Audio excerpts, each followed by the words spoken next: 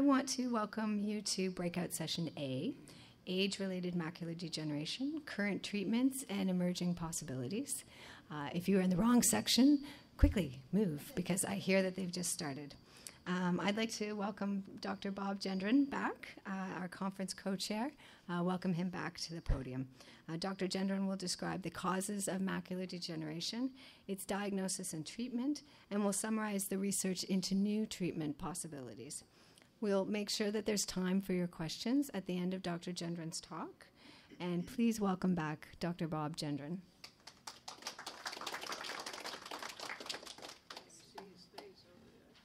Thank you very much, Aaron. Uh, and thank you all for coming to my session. I guess I have the smaller of the sessions, but uh, it's just as important as the, the other sessions. So uh, thank you for being here.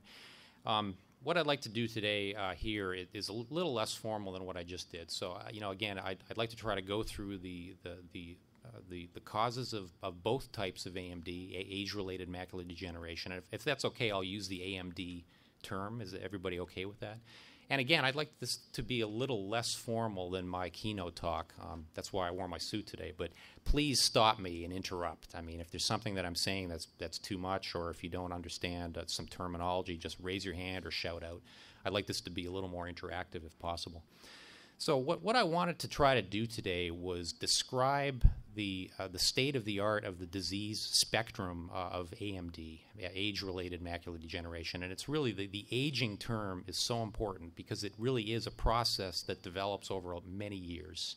Some individuals have age related macular degeneration that develops very rapidly when they're younger, but that in, in some cases might be overlay, overlaid with a, with another type of retinal disease. So that that's that's a little bit different. But the mo- most of these forms occur in aged individuals. And again, that's important for our province now because in Newfoundland and Labrador, we're seeing a kind of a skewing of the population. There are more and more aged individuals here. So it's an important problem for our province. But what, I, what I'd like to try to do is, is try to form a picture in our heads of, of the, the, the tissues in the retina that are affected over years and, and that get impacted by age related retinal degeneration. And uh, if we think of the eye, we have an incredible machine in our heads. The, these two eyes that we have, they're like, they're like machines, and they act so that we can see our, our world. And when we have uh, a, a, ray of light coming into our eyes, it has to pass through a number of structures in order to get to the cells that are central to the vision, and those are the photoreceptor cells. So uh, I, I, like to make the analogy of the photoreceptor cells, and, and uh, Dr. K. Wet did this last night, and I, I, I really like the analogies that the photoreceptors are like the engine of the retina. They're really kind of, again, if you think of a motorcycle, they're the engine of the motorcycle. And in order to make that motorcycle work properly, those, those engines have to be well oiled, and they have to work properly, and they have to be in good order. So the photoreceptor is the cell that actually is detecting the light rays that come into our eyes. And a lot of tissues are involved in supporting those photoreceptors. So if we go through the eye, the light ray is going to be coming into the eye. It's going to be going into a couple of other tissues that are in front of the photoreceptors. And those tissues are retinal neural tissues. So they're very important, but they're in front of the photoreceptors. So there's actually a layer of cells in front of the photoreceptors that the light has to go through to get to the photoreceptors. Okay, the the retinal uh, neural cells are uh, don't th- people don't think they're so involved in development of AMD, but they're as I'll tell you later, they're very important in some approaches that people are thinking about how we can deal with AMD. So I'll get to that a little later. But let's continue our journey through the through the eye. So as as the light ray is going to be going through the, the, the retina it's going to be going through the neural retina, and then it's going to be encountering the photoreceptors. And those are the cells that are going to be reacting to the light rays and then sig- sending signals to the brain, to the visual cortex, right? And then behind those cells are what we call the retinal pigment epithelium. And that cell layer is, again, very important in supporting the photoreceptors. And a- as we see in many forms of AMD, it's those retinal pigment epithelial cells that are the ones that are becoming diseased or abnormal as the disease progresses. So, uh, just one more little bit of our journey. If we go behind the retinal pigment epithelium, we actually have a layer, a kind of like a, what we call a basement membrane. That's kind of like a layer of acellular or non-cellular material that protects the photoreceptors and acts like a kind of like a sieve that allows the nutrients and toxins to go back and forth through that layer into the photoreceptors. So that's a very important layer as well. It's called Bruch's membrane. And that also has very high impact in how the disease develops. And then finally, behind Bruch's membrane, we have the choriocapillaris, or the choroid, and that's the blood vessel system that leads to wet AMD. All right, so some, some people are dealing with wet AMD where you have blood vessel overgrowth in the retina, and the, the blood vessels that are involved there are from the choriocapillaris. So, in setting this up, I'd like you to keep in your mind's eye, you're, you're, you're going through photoreceptors to retinal pigment epithelium, and then Bruch's membrane, and then the choriocapillaris, and those tissues are central. They're central to the way the disease develops, both in the dry form and then later, if it progresses, to the wet form. So, if we again think of the eye, we have in our eye uh, a little bit temporal or more toward the ear are what we call our macula. And I'm sure many of you know this already. Your macula is the point in your eye where you have the best vision, the, the, the best, sharpest central vision. And at the macula, you have a little bit there, about a half a millimeter across, called the fovea. And the fovea contains about they think 100,000 photoreceptors. And those photoreceptors are mainly detecting color. So 100,000. So if we think about how we can compare that, say, to the brain, in the brain we have people think there's about 100 billion cells. All right, so if you think of a brain disease, you know, you have 100 billion cells in the brain that, that, that could be marginal to the disease location.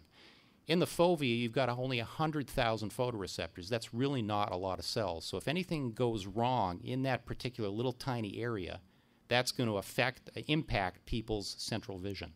And of course, that's what people with age related macular degeneration live with. They live with loss of their central vision. So, what we know is that, and I'm sure you know this, that about 3% of Canadians now are, are dealing with some form of age related macular degeneration, either the dry form or the wet form. So, that's a lot of people. And we know that it strikes when people are, are past age 55 in general. Um, it, it's actually, uh, uh, it starts out with what we call a dry form, where we don't have blood vessel grow, overgrowth, but then it might progress in a small portion of those patients and that's, uh, that's about 15% of patients that might develop the more severe form, or what we call the wet form, where we get those, those blood vessels from the choriocapillaris that I talked about growing too rapidly and too quickly. And the other problem is that when they grow like that, they leak. So they're like they're almost like a garden hose. The, uh, the analogy I like to use for that is the garden hose. You have your regular garden hose, and then you've got your soaker hose. Okay, and those are the soaker hoses are where you've got the little holes in the hose. Well, in wet AMD, your, your blood vessels in the choriocapillaris become more and more like a soaker hose. All right, they, they usually they transfer nutrients and they take up toxins, but if those holes are too big, they're going to leak everything out, and that's going to damage the tissue. And that's what's going on in wet AMD. All right, so getting back to the the uh, the disease progression, we know that the disease starts out in the dry form, and many people will be uh, you know dealing with the dry form of the disease. And that's, uh, as we know in, in the scientific field now, uh, the, the dry form has a, a, a very, uh, a very complex, what we call pathogenesis. And pathogenesis means the progression of the disease over time. And as we know, if it's an age related disease, there are many years where we get changes in the, in, the, in the retina that develop into this dry form of the disease. So, how does it start? Well, people think that in terms of the disease starting, that it, it's really um, one of the one of the biggest problems is that what you get initially is the deposition of what we call lipids and lipoproteins, which are, are combinations of, of fats and proteins that kind of ball up into little little what we call um, uh, drusen that deposit along that layer of cells that I told you about, the retinal pigment epithelium and the Bruch's membrane behind it. So these drusen are they're either soft drusen or hard drusen. Some some of the ophthalmologists will divide them into those two types of, of, of drusen. They will start developing or depositing along that membrane in the back of the retina, particularly around the fovea. Okay, and uh, people have found that these drusen um, uh, are kind of like uh, the analogy is made with uh, atherosclerosis and heart disease. So many of you know that some people have, uh, some, some might have a, a, genetic predisposition to what we call hardening of the arteries, where we get buildup of protein and fats along the inner artery wall. It's very similar with the drusen. You're getting buildup of these lipoproteins that are forming little droplets and then changing in chemical form and becoming toxic to the surrounding retinal tissue. And people have found that these, uh, these drusen contain all kinds of uh, harmful chemicals. And some of these are uh, lipofuscins, which are chemicals that can react when light hits them. And when light hits them, they kind of activate and form uh, harmful uh, byproducts um, that we, we call uh, mainly oxidation. So there are other chemicals in there called inflammatory proteins, and these are part of the immune system. Uh, one very important protein that we find in drusen are parts of the complement system. And the complement system is uh, a system which we all have in us that's an, innate system that allows us to fight things like bacteria and, and viruses and parasites. Well, in these drusen, we're getting deposition of these complement components abnormally. And it's as if the complement components are then recruiting in uh, uh, a reaction against the drusen and then a reaction against the surrounding retinal tissue. The other thing that the drusen contains is lipids that have been, become, as I mentioned earlier, oxidized. And uh, if you want to make an analogy, the oxidation reaction that you see in these drusen is kind of like the rust on your vehicle. You know, it, it's, it's when you get a breakdown of the normal uh, material. It's also like if you bite an apple and wait an hour, the apple's going to turn brown. That's because of the effect of monooxygen onto materials, and it breaks the material down. The same thing is happening in these drusen in the eye. And uh, one of the exciting things that they found over the last uh, five, or, or five or ten years is that if you try to change the diet of individuals with, uh, with the, the earlier form of AMD and try to lead them into a diet that contains antioxidants and chemicals that can uh, sop up those abnormal oxygens, that that actually helps the AMD. And it's been found that this formulation of vitamins that's been uh, uh, studied through what we call the AREDS or age related eye disease study, that formulation of vitamins actually will decrease your risk of progression of AMD in the dry form by about 25% over about five years. So it's, it's a worthwhile thing to do. Um, in talking to some of the clinicians that deal with these supplements as a form of, of, of, dealing with AMD, many clinicians think that it's best to get these types of supplements from a healthy diet. And that really can't be stressed enough. Uh, we, we wanted to have some of the clinicians here today, but unfortunately we couldn't get any. They're all at a, a, a retinal meeting in another part of Canada. But in talking to the, to the one that's local here, he couldn't emphasize enough the importance of having a diet that's high in antioxidants. All right, so you could take the supplements; um, they're they're they're beneficial, they're effective, but as well, you know, you can get similar benefits from a healthy diet. And there were studies done uh, initially. The yes, yeah, yeah.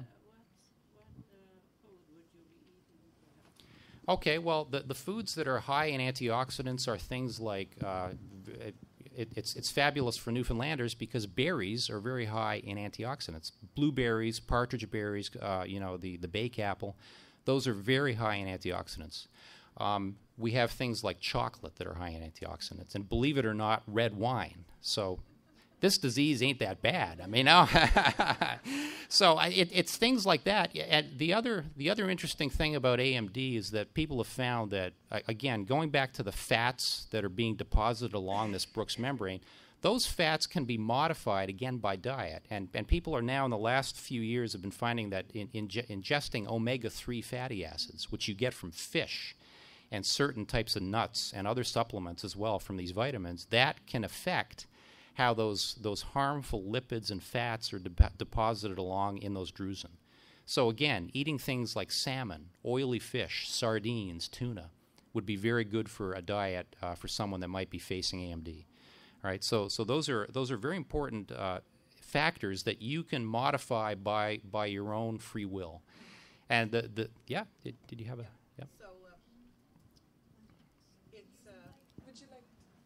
Oh, yeah, I might use it on microphone. Yeah, I was just thinking that Yeah. uh, it's sort of a link to cholesterol, or Yes, oh, absolutely. The, people have people have been studying the role of cholesterol in, in this particular process, and again, uh, the way cholesterol is metabolized by the cells in the retina is very important. And people think that now uh, the the way cholesterol is metabolized in, in, in early stages of AMD might be abnormal. So that uh, again, modifying that. In general, people think that uh, decreasing your overall fat uh, intake is probably best for AMD. Uh, changing the type of fats you eat from fats that might contain high cholesterol to those that contain things like omega 3s is better for you. Because, it, again, it shifts the balance of fats in the retina from a bad form of fat, like some of the cholesterols, to a good form of fat that will not feed into these drusen. But that's a very good question. Yeah, and another thing, uh, uh, when I started with this, say about, about seven years ago, AMD, I Yeah. spoke to my doctor about uh, taking the Vitalux. Mhm. And he said, what do you think? Well, I said, I don't know, you know, I mean, because I had no idea, use like, or anything like that. Yeah. And, uh, well, he said, you know, just went with his head like that. Don't bother, you know? And uh, I didn't take them. But now, I, uh, I look after myself. Yeah, right. I try to eat a healthy diet. Yeah, uh-huh. I have fish, berries, and all Right, that, and I don't smoke, I Yeah. don't drink, and, Yeah. you know, I sort of take care of myself. But, right. Yeah.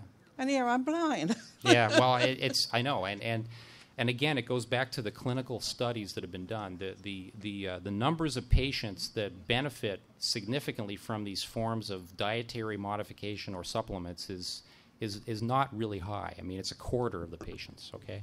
So, or it's a, you have a you can decrease your risk by one quarter over five years. So it's not all the patients. I, I unfortunately have to say that that will benefit from this. So, you know, it, it, it's going to benefit some patients. It, it can't be bad for you overall to, to have a healthy diet, and it may actually, uh, it, you know, it may block the further progression of the disease. And uh, you know, and I don't know what form of the disease you have, but it, the, uh, what's interesting and what's frightening is that along on the background of dry AMD, you have always have the risk of developing wet AMD. So those of, those patients that have wet AMD, where we have blood vessel over, overgrowth from that choroidal capillaris that I talked about earlier, those patients usually develop the wet AMD on a background of dry AMD. All right, so if you've been going along for many years with dry AMD and you don't take care of yourself and you don't follow your diet, you know, take antioxidants, you're at higher risk of developing that more severe form of wet AMD.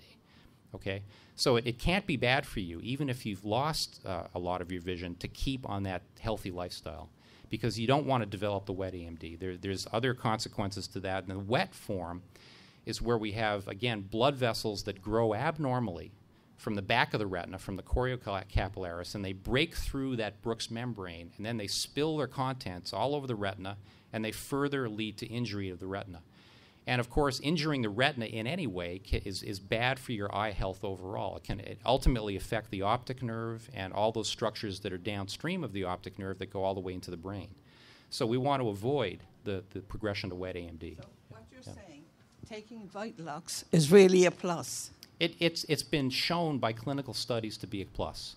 But I can also say clinical studies also show that healthy diet with the right ingredients and antioxidants and the right spectrum can be just as good. Well, when I say healthy diet, I go in for broccoli, fish, Yeah, sardines, berries, and yeah. you know, I don't know if that's a healthy diet, but Yeah, yeah. to me, it's a, you know, Mhm. it's a very good. Yeah. But I get hung up on this Vitalux thing. You know, I said, you know, I was, I was really good at that. Yeah. And yeah. then when I spoke, you know, you know, well, you know, as if to say, don't bother, don't waste your money. That's the ev- every ophthalmologist is different. And Yeah. again, I'm not a clinician, No. so you know, I'm a researcher, so I really Yeah. can't I, I can't speak to that. But everybody's different. You know, some people may want to approach it with a supplement. It might be easier for them. Uh, you know, they might not be they may not might not be able to, f- to follow a healthy diet or lifestyle, and so it's easy for them. But it's not for everybody. But there are two studies, two very large studies, one from, from Netherlands that involved about 5,000 patients that showed that diet it can be as good as the supplements. And, and you had a question as well? Please. Oh, if you could use the mic- microphone. sir. yeah, yeah. I thought it was loud enough. anyway, I'm on Vitalux Yeah. and I've been for about five years, Yeah. and there's been no change. No change, right? No yeah. change in it, and uh, it's dry, I think. Yeah. But I've only had this, I'd say about eight years. I know Yeah. it was that long. Right. Yeah. But I, I find it excellent. There's no change. And Yeah. uh, I, I live a very healthy life. I walk Yeah. about seven kilometers a day. Fantastic. And um, I Mm. eat well, and I go to and I sleep well, and I don't drink red wine. you don't drink red wine. Well, you know, they're, they're, uh, they're, they're, you don't have to drink red wine. Some of us do. We like it, but you don't I have don't to. like it. Thank you. And there's a question over here as well. Can you tell right now roughly what proportion of people with dry AMD will, over a certain period of time, uh, develop uh, wet AMD? And Yeah. secondly, uh, what proportion of people with wet AMD in one eye Yeah. who are on uh, the uh, vitamin and so on therapy Yeah. for dry AMD in the other eye, what proportion of, of, of those will go on to develop it in both eyes, the wet? Right, right. Very good question, and uh, uh, I do have an answer for that. The studies over the last 10 years or, or more have, have shown that about 15% of the patients that are progressing through dry AMD will encounter some form of wet AMD. Okay, 15%. So it's pretty low, but um, of those 15% that then might develop wet AMD, uh, the, the proportion, uh, in, if you have that in one eye, you have, uh, I think it's uh, about a 4 to 12% risk per year of developing it in the other eye. Okay? So that's, that's, the, that's, that's the bad news, right? The, the good news is that, as I said earlier here in the keynote talk, that there is a treatment, as you probably know, for wet AMD. And this is a treatment where we actually target the blood vessels. So we, we have an antibody, uh, which is, again, part of our immune system that uh, companies have highly humanized. So they've, they've engineered it to be so that it won't be rejected by the body. And these antibodies are directed against a protein that's important for that blood vessel growth. And, and we can, uh, ophthalmologists can inject that directly into the eye. And uh, about a month ago, I, I, I shadowed the local ophthalmologist, Jim Whalen, in his clinic, and I, I, I saw some of the injections. And um, I, was blown away by how some of the people took these injections. I always thought, as a researcher, that they would be gruesome, and you know, but the people that had these, mainly aged individuals, they, they laid back and they took these injections incredibly stoically, and I, I, I couldn't believe it. And I take my hat off to the people that are getting them because it's amazing. But you know, to me, it didn't it didn't look as bad as I thought it was, and and that particular treatment actually works. Um, it has uh, the ability to stop disease, and it also has, in some cases, the ability to have people regain some of their vision and some Snellen letters that they, they lost. So it, it, it's, a, it's a good treatment. It's pretty much the gold standard now for wet AMD, and it's actually a treatment that many people are, are going through. So what we're doing here in St. John's is we're trying to figure out how we can supplement that type of treatment and maybe get around the injections. And we're working on a chemical or a, a protein in the eye that we think regulates how those blood vessels leak. So going back to the garden hose analogy, we're trying to figure out how we can stop that leaking. And Elan and I in the lab are working on trying to figure out how we can use other drugs that, some of these drugs are used in other fields, again, to try to complement the anti-VEGF therapies that are being used. So uh, our work is in the early stages, and it's just going th- now through progressing into ma- uh, mouse studies where we're testing these in mice. But we hope at some point in the next decade or so that we might move this toward, again, toward clinical trials where we can supplement those types of treatments and get people away from injections. So, but very good question. Well, my eye, uh, I have dry in this one, Yeah. and it started about seven years. But it went to this one. I've had 31 injections. Uh, st- first, I started with Avastin, which is much now it's Avastin, right. Lucentis. Yeah. So I've had 31 injections. Wow. Now Yeah. I say it's really no change, but I don't know how far. I might be blind. I mean, right now I can see your shadow. I Yeah, can't right. read, can't drive, can't read that, but and uh, I can see Yeah. get around do my housework. Right, So I don't know yeah. how bad it would be. Yeah. But I go every month. Yeah. And I've been going every three months. Yeah, yeah.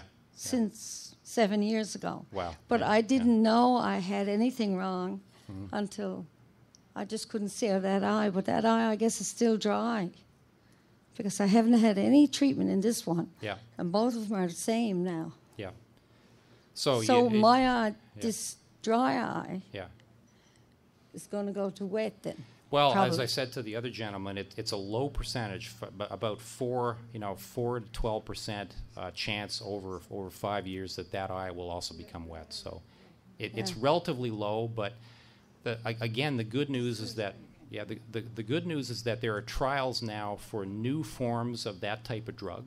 So p- the, uh, the the work that's being done now is to try to engineer engineer that drug further so that it, it, it it's more effective and that it stays in the eye longer so that you can get less injections and that it, it treats in a more effective way. So those trials are being done now in the US and, and hopefully in the next few years they'll trickle up to Canada. So there's hope for, for different forms of Avastin and Lucentis type drugs, but again, a, a couple years down the pipeline. So hopefully for you, you'll be in that larger proportion of patients where you will not get development of, of that other eye to wet. And that and, during that time, there might be more treatments that might come along if it happens. Sight seems the same, you know, Yeah, in yeah. both eyes.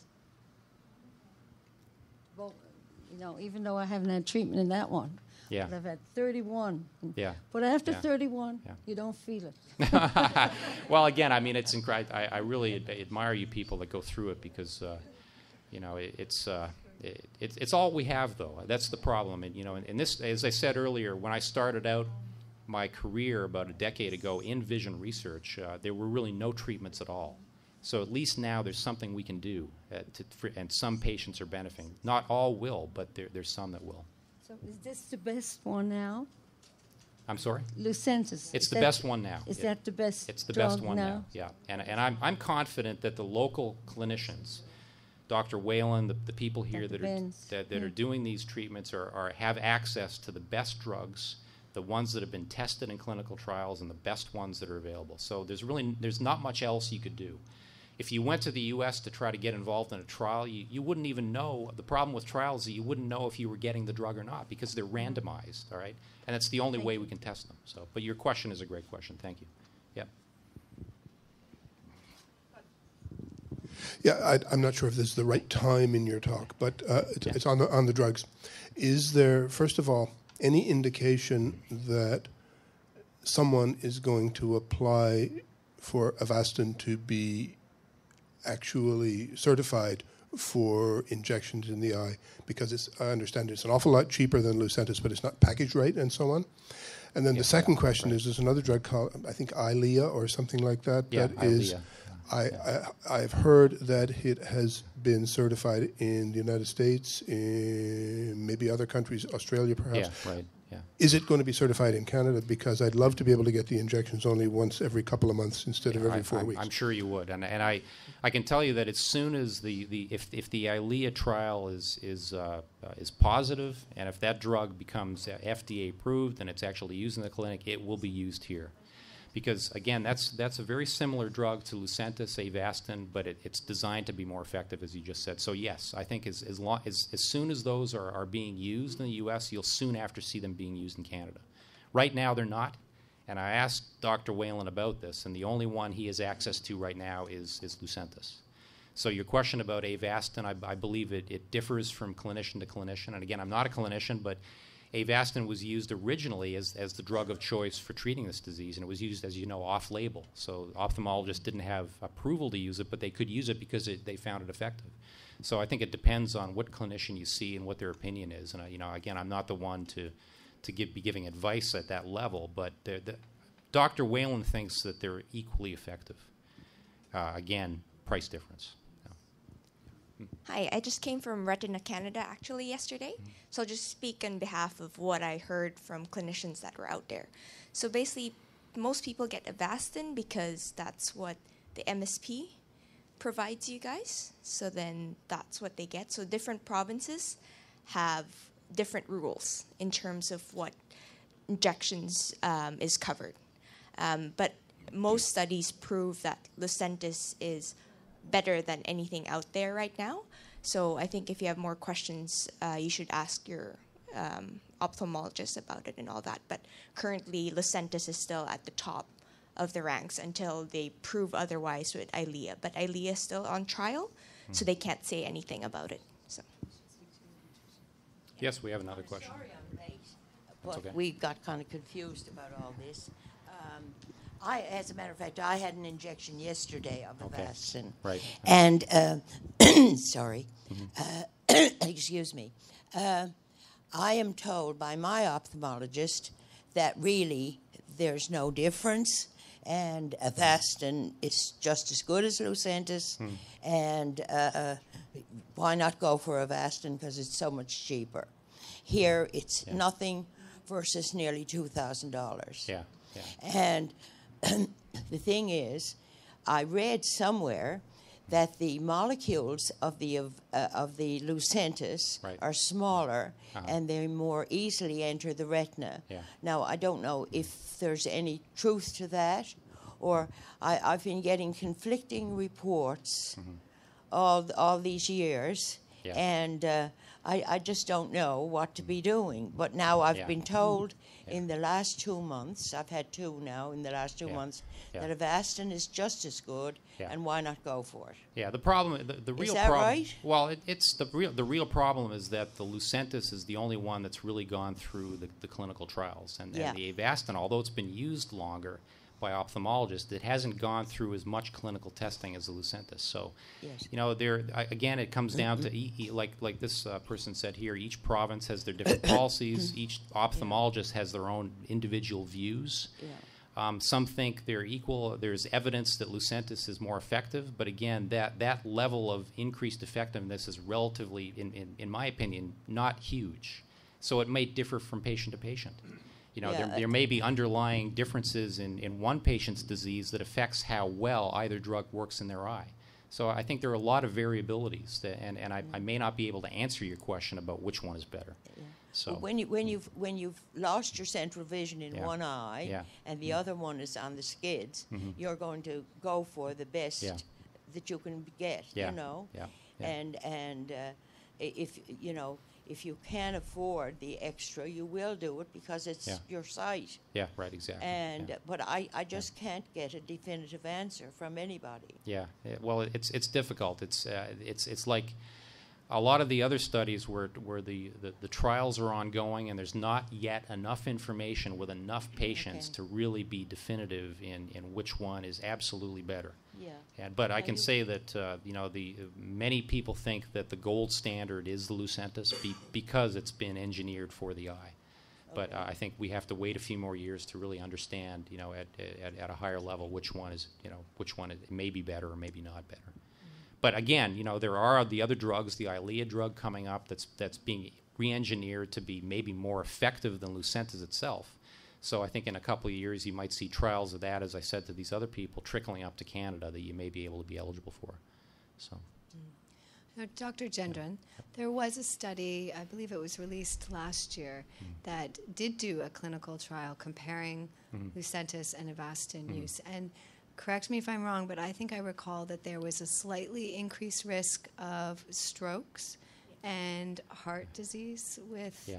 uh, the Aventis. Than Avastin? Av- Av- Avastin, Avastin, yeah, sorry, yeah. Avastin Yeah. versus Lucentis. Yeah. And so Lucentis proved to be a little bit more safer Yeah. for, pe- for especially for people who might be at higher risk Yeah. of having a stroke Mhm. or oth- other um, cardiovascular. Yeah, I'm, you know, the, the, the drug, the Lucentis, was produced by the companies uh, to be directed against the retina. So there, you know, there, a lot of money and engineering and expertise went into that. So the, the problem, the, sorry, the problem with anti-VEGF drugs, as Aaron just alluded to, is that VEGF, which is vascular endothelial growth factor, that's the, that's the protein that these drugs are directed against, is expressed throughout our bodies, all right? And so that if you if you use a drug that's targeting VEGF, it could be harmful in other parts of your body. So uh, you know you you might have a, a process going on, wound healing or a cardiovascular process that's going on. That if that drug gets out of your eye and then into your systemic circulation, it can affect that process. And that's why uh, you know the, the companies uh, directed their efforts into trying to design Lucentis for the eye. Uh, it's not to say that the other one is can't can't be as effective, but there are these issues of of uh, you know how that drug might get out of the eye and affect the rest of your body. So I know for myself, I don't have macular degeneration, I have retinitis pigmentosa. Mm-hmm. But if I was in the situation where I had a choice between the two and my provincial health plan covered Lucentis, I know I would be going for the gold standard Lucentis and I'd be advocating for myself or my family member to get that gold standard. Um, and I, you're still not covered here. Wow. We, we might have to work on that. be- So it's Yeah. for, it costs nothing for Avastin versus two thousand dollars, or Yeah. you, if you go to Price Love, Yeah. you can get it for sixteen dollars. Hmm. Right. So that uh, that's a good information for us as an organization because we worked with AMD International um, on a campaign a few years ago to ensure that all provincial health plans across the country were covering Lucentis. This is before my employment with the foundation. Um, so I wasn't aware that we weren't successful in a province, and we may have to take that up again. Depends on what province you live in. Yeah, I think it was only since 2009 that they, they approved Avastin. So it, it hasn't been all that long even for Avastin. So we, we are behind here. Yeah. It's something maybe the foundation can help with. Absolutely, because I think you're the only province that does not have uh, provincial health plan approval for Yeah. funding of Lucentis. Mhm. So, Dr. Gendron, would you like to finish your talk and take questions at the end, or Yeah, how much, you? how much more time do we have? You it, uh, have about uh, ten minutes Okay. left. Uh, there are a couple of other things I, I wanted to talk about So there. do you want to make uh, those points, and then we'll yeah, I- come I back could to make some those points, questions? yeah. Okay. Um, I, I think what I wanted to end on was again the uh, the fact that, as I mentioned in the other room, that the, the different forms of AMDs, the dry form and the wet form, are multifactorial diseases, right? So there's also a lot of uh, research now in trying to figure out the genes that are involved in AMD. And uh, I'd, I'd like to tell you a little bit about that because, in, in one way, it's exciting, but in another way, it's a bit disappointing. And that's because there, there seem to be now many, many genes that might be involved in the different forms of AMD. So, as I mentioned, that there were 250 genes that are involved in all retinal diseases. Now there's at least 18 genes that have been found to be related to one form of AMD or another, mainly the dry form. So some of those genes are genes that are involved in, as I mentioned, the immune system. So uh, there's one gene called the complement factor H, and uh, there are actually companies that have kits that are available that people can go and get themselves tested for these different mutations. But it's, it's thought that it really doesn't make much difference because the, the, the, the disease is so multifactorial. So if you know you might have a, a mutation of one gene versus another or a group of genes, what seems to be more important overall is overall eye health and overall, uh, you know, uh, whole body health. And so things like uh, the, the, the, the risk factors for AMD are aging, of course, uh, smoking, uh, dietary factors, and genetics. But you can affect those some of those factors. You can stop smoking, you can change to a healthy diet, and you can try to uh, you know affect the outcome of the disease.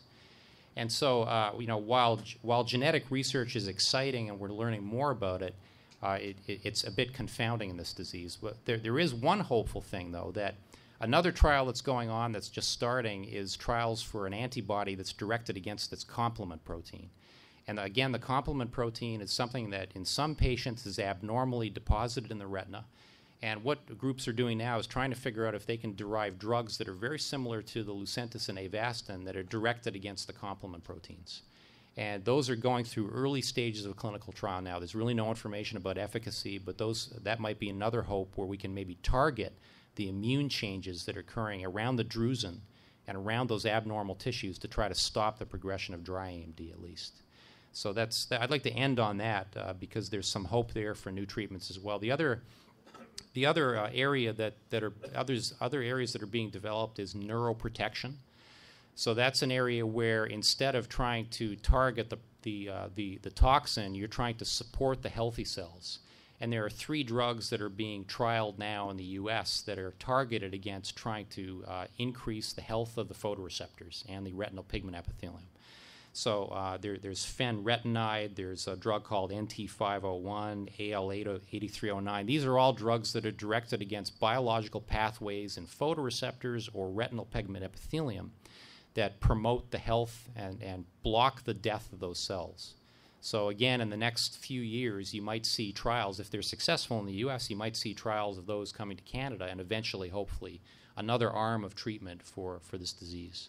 So I, I guess I'll end there. I don't think there was really much more I wanted to talk about other than the questions, which I think we seem to have a lot of. So that's great. You, you haven't mentioned the stem cell research. Oh, okay, right, yeah. Um, everything always escapes me. It's just terrible. Anyway, yeah, the, the stem cell research is really exciting because, uh, as I mentioned earlier, and the reason why I went through the tissues is that we have to realize that the retinal pigment epithelium is kind of like uh, I, I think of it as the juice bar. Okay, it's, it's in one way it's the juice bar for the photoreceptors, and another way it's like the vacuum cleaner. All right, so it, it that cell layer will actually nourish the photoreceptors, so produces all those good juices for the photoreceptors, so they work properly. But it also takes up a lot of the toxic materials that the photoreceptors make every day. And every night at about five o'clock in the morning, those cells are recycling your used up photopigment in your photoreceptors. And when that process goes wrong, when those retinal pigment epithelial cells stop working like vacuum cleaners and they, and they can't sop up all that toxin, they die. So what are, what's being done now is that there's a group in the U.S. Uh, it's from a company called, I believe, Advanced Cell Technology in California, and they're very interested in using stem cells, which they derive from embryos, human embryos, and they differentiate these stem cells into retinal pigment epithelium that would be normal, and then they take these and, and they inject them subretinally. So they'll take them and inject them into patients or subjects in the study subretinally. And then the cells will form a layer that's like the normal retinal pigment epithelium and then start nourishing the photoreceptors and then acting like they should, like a vacuum cleaner and as a juice bar. So that's being done now. That's in phase two clinical trial. And that means that they're testing the efficacy and the safety of the trial. It's a limited number of patients, but that's ongoing. So I think in the next five or so years, you might start to see efficacy results for that, and uh, you know that that is a is a real hope. And and as you know, I'm sure from the news, there's a lot of talk of stem cells. And the nice thing is that you can now derive stem cells from uh, normal adult tissues. You, you can have, there's there's work out there where they're taking a skin a piece of skin, and then using certain chemicals and factors, differentiating those cells that are normally far along a differentiation process back into stem cells, which might be specific to your own body, and then using those cells to create things like retina. So that's very exciting. But uh, again, a very, very uh, early stage of development, and you know, I, I, don't, I don't think that would be available for you know for un, until the next within the next decade. I think if, if it were if it were workable. I- Is there any stem cell research being done on directly uh, trying to repair the damaged blood vessels in the underlayer? Ah, stem cells in the blood vessel. Th- There is a group in Florida, uh, Maria Grant's group, that's very interested in that. Yeah, the, the uh, I, I don't know if there are any trials on that yet, but th- that, that's a great question. I mean, you know, if, if you can uh, renormalize the blood vessels in that area, it would be a great thing. Uh, I, I think. I, I don't know. I'm, I don't think there are trials, but there are labs that are very interested in, in endothelial stem cells. So it's a, it's a great question. I mean, the blood vessels yeah, complicated in and of itself because it has its own uh, regulation whereby it has to have the right layers in it, and those layers have to not leak like uh, the garden hose, and and they have to be uh, regulated so that they don't proliferate. And there's a lot of factors that go into regulating the blood vessel, not only vascular endothelial growth factor, but other factors like uh, fibroblast growth factor and platelet derived growth factor.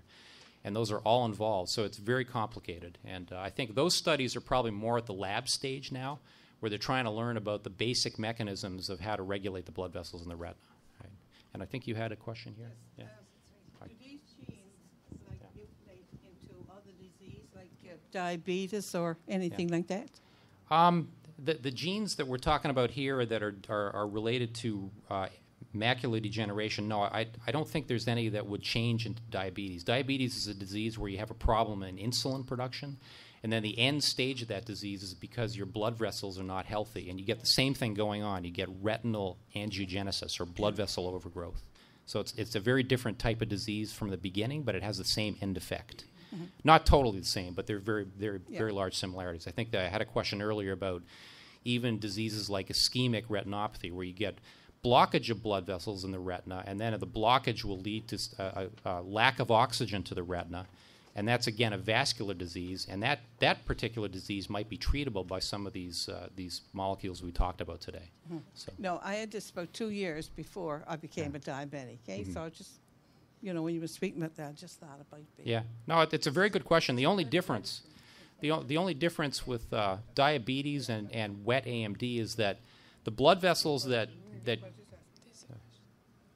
But let me just finish with this one. The blood vessels that that lead to uh, wet AMD are from the back of the eye. The blood vessels that are involved in diabetic retinopathy are from er, inner inner parts of the retina that are further toward the, the neural layers of the retina. So they're very different blood blood supply systems, and there may be differences in those uh, the way those blood vessels are regulated. But I can also tell you that Avastin and Lucentis are being used to treat um, uh, diabetic macular edema. So there, there are trials now that have shown that it's effective, and it's being used in the clinic to treat diabetic uh, blood vessel overgrowth. So they're also effective there. But a very good question. We had one other. Both of us are sisters. Okay. We were diagnosed within a month, the same, month. Really? Oh, okay. So, wow. Uh, yeah. do I expect my children to? Is it hereditary? Some literature says no. Are you talking about the AMD? Yes. Well, a- again, you know, there are a number of genes. We think now maybe up to 18 genes that might be involved in AMD, so it could be. But again, there are all these other multifactorial and environmental factors that play into that. So uh, it's uh, you, you know there there are tests out there available, but uh, some people think that they're uh, you know they're not as important as really trying to alter your lifestyle and your diet and, and the way you take care of yourself that will al- alter the outcome of the disease. Do more females get AMD? Gee, that's a good question. I No, when I go, when I go to the eye clinic, yeah. it's mostly always a female is going with the patch on their eye. I Yeah. never see Yeah. a man. I've Yeah. never seen one. Yeah, no, it, it, it's. I, I saw saw a one? few the other day. Yeah, it's a good question. It, ju- it I've just never escapes seen my one. mind. I, I, I think it's yes. Sorry, but I, I think that it is more prevalent in females. I just had a comment. We were talking about the importance of diet and lifestyle modifications. Um, I'm a big fan of the, uh, this book called Eyefoods, and if you'd like to come take a look at it, uh, it, it uh, holds a lot of practical tips, uh, different foods, uh, uh, what kind of nutrients they, they provide. There's, we have some recipes and stuff like that. So come uh, come take a look, and uh, we can chat about it. Could I ask you a question uh, about uh, supplements? Uh, you know, you have Ocuvite and Vitalux and all that stuff, and then you have um, what's the one that made that's made of the marigold petals and uh, lutein, and that one beginning with X. Zeaxanthin. I yeah. don't know. It's Are they- are they beneficial yeah. or? That's that's being tested now. The the, the, the, the formulation of lutein and zeaxanthin, in addition to the normal uh, mixture, is being tested now. So uh, as well, they're also testing the, the effect of, of added supplement of omega three. So those results should be coming out in the next few years. So, yeah. Uh, So thank you very much for all your questions. Uh, Dr. Gendron uh, will be able to take some more. We have one more comment here from one of our exhibitors, Core Nutrients, and we would love uh, you to speak for a couple minutes and tell us why you're here. So, hi, I'm just here uh, representing Core Nutrients. Um, we're basically an evidence based um, supplier of vitamins for AMD. And currently, we just partnered with Bausch and Lomb. Um, and our goal here is to provide patients with very low cost vitamins. And we also partnered with Bausch and Lomb because their formulation, they actually provided the AREDS trial using their product.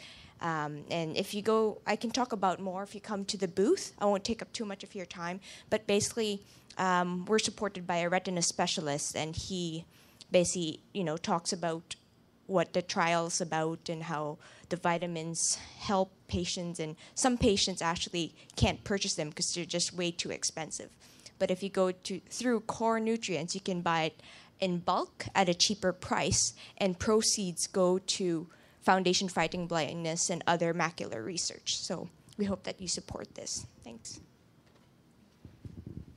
I, I just add that they're very similar, uh, as good as Vitalux. Um, some would say uh, better. So um, it would be a discussion you'd want to have with your eye care professional, um, and uh, then you can go from there.